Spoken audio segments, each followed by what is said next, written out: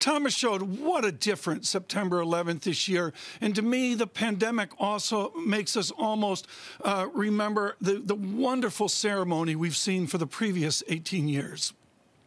Yes, it's uh, it's uh, there are a lot of similarities with uh, with I think really other crises that are going on with this pandemic. I mean, I think 9/11, if it was anything, it was a story of resiliency. I think both for my firm as well as for New York and the industry.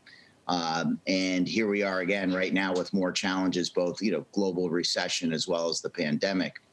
And and I'll tell you, I uh, over the years, uh, over the 19 years, there have been many times where there have been more challenges, as we all know. And I'll never t- forget a story uh, that uh, that happened uh, during the global financial crisis. Uh, we had just had a, a, senior meeting at the firm. I think it was after Fannie and Freddie had been put into conservatorship. Mm-hmm. And one of my colleagues came up to me and he said, Tom, I know this is a challenging time, and we just discussed how we're going to address it.